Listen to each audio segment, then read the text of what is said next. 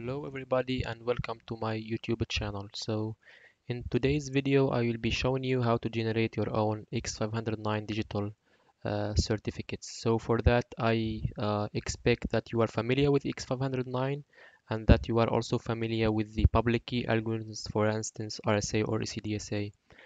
Um, so for this tutorial we will need the OpenSSL command line tool so if you don't have OpenSSL installed go ahead and uh, install it. So if you are on Linux or on Mac you uh, should have uh, OpenSSL installed by default um, in your system.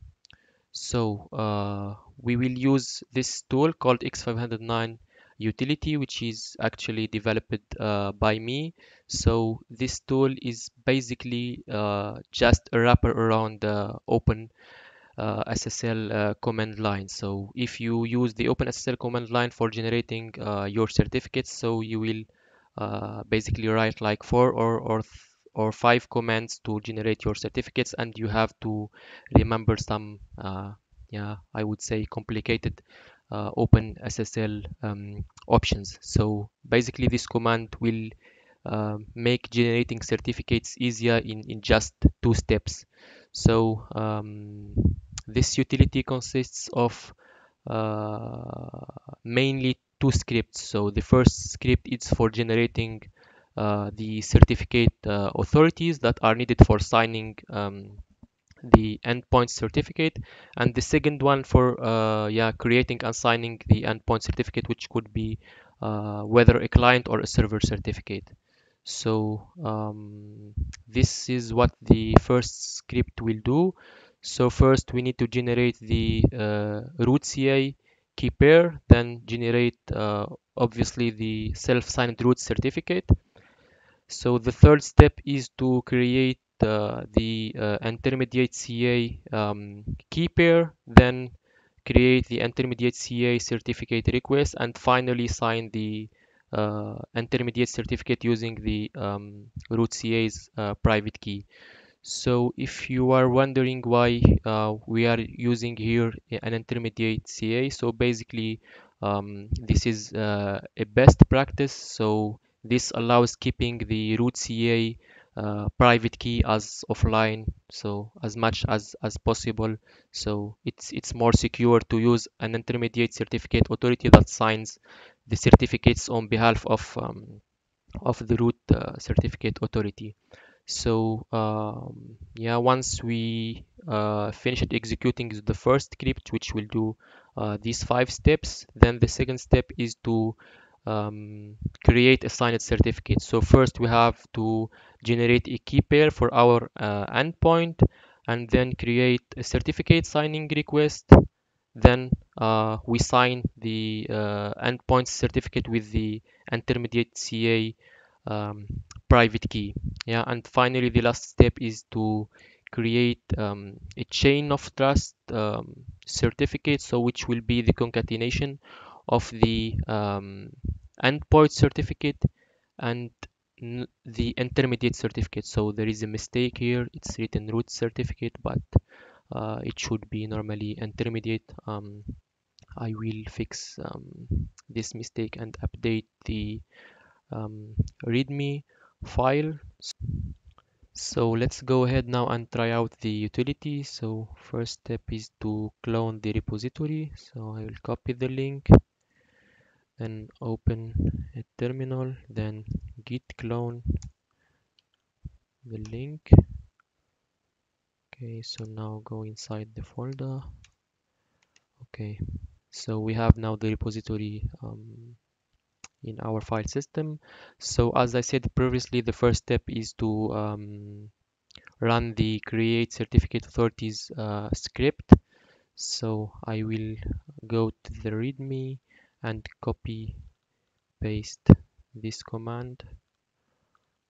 Okay so the first option is the root uh, CA configuration file which is already provided uh, in the repository. The second option is the intermediate uh, CA configuration file, which is already uh, there. And the third option is the signature algorithm, which could be uh, RSA, ECDSA or ED25519 and the last option is um, the validity which you can see here uh, 3700 so the validity is in days so this is like around uh, 10 years. Um, let's run the script. So uh, the root CA key pair is generated then uh, now generating the um, self-signed root certificate authority. So you have to enter here some info about the country name. By default it's DE so I will keep it DE by default the country is uh, Deutschland which basically means Germany. Uh, locality name I will keep it empty. Organization name by default I will keep it root CA unit name I will keep it empty. Common name root CA email address empty also. So now the root the intermediate CA key pair is generated.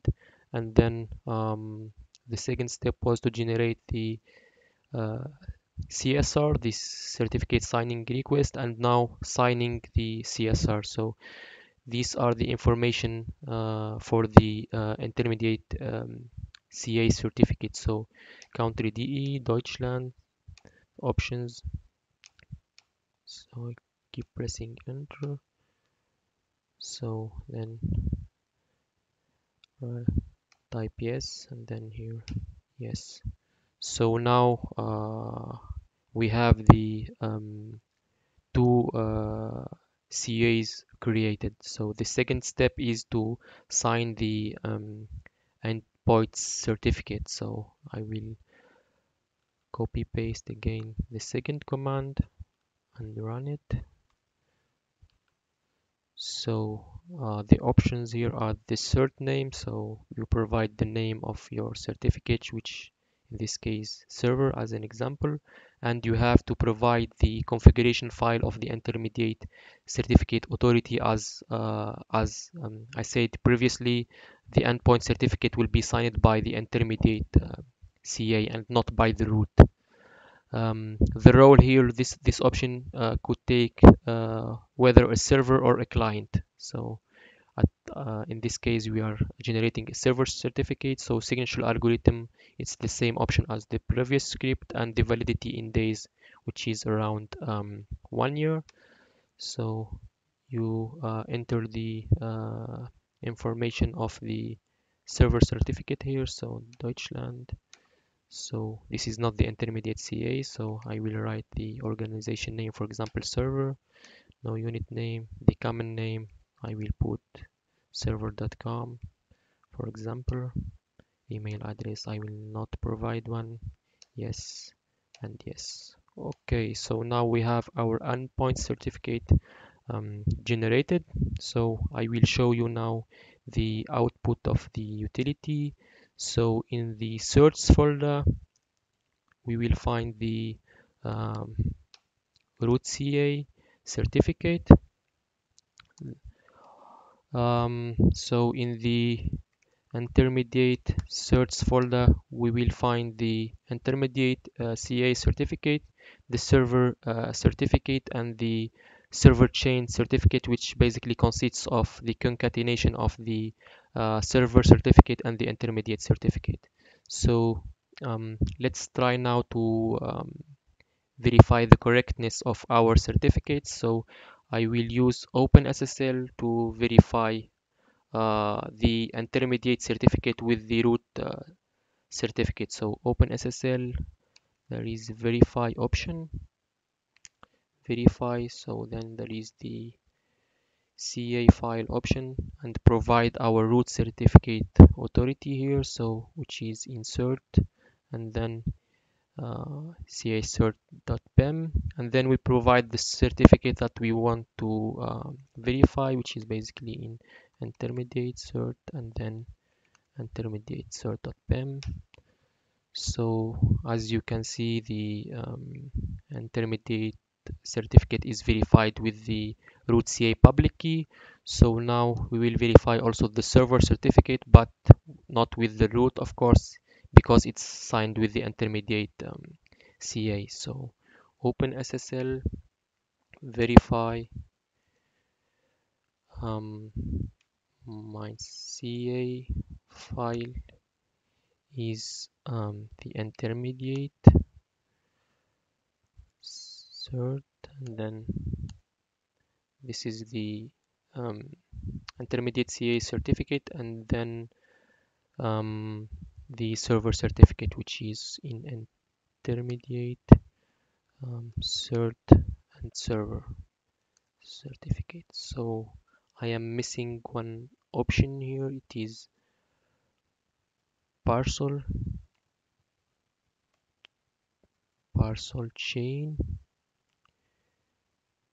yeah so if you are verifying with uh, an intermediate certificate and with uh, not a root self-signed certificate so you have to provide this uh, option.